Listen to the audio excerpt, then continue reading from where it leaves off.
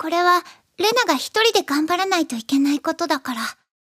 頑張って、全部終わって、今まで通りになったら、絶対戻ってくるから。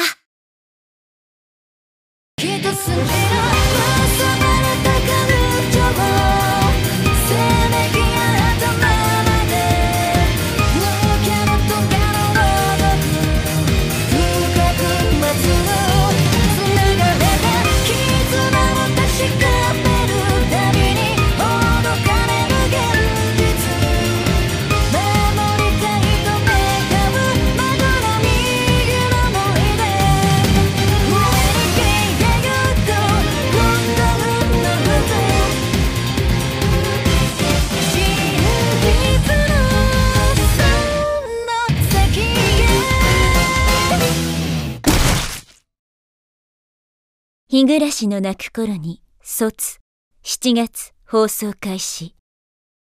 レナさん、理科をひなみ沢にとどまらせることができたら、その世界では必ずあなたも幸せにしてあげましてよ。